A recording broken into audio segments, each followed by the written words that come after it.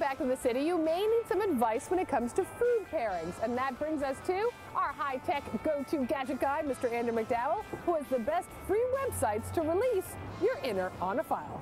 Hey, Toni. You know, even if you're no Gary Vaynerchuk, we've got some high-tech wine tips for you. And after you hear this, you're going to be tasting like a pro. Check out snooth.com for free reviews and all the wine news you could possibly consume. But if you're looking for a professional pairing, no sommelier necessary. Just go to epicurious.com. Search a recipe similar to what you will be serving, and voila, wine pairing perfection. Again, totally free, all powered by Snooth. Coincidence? We think not. Now, if you want a good deal, you don't actually have to leave the house. Check out Woot's website at wine.woot.com. And once you've bought the stuff, you've got to keep it ready to pour.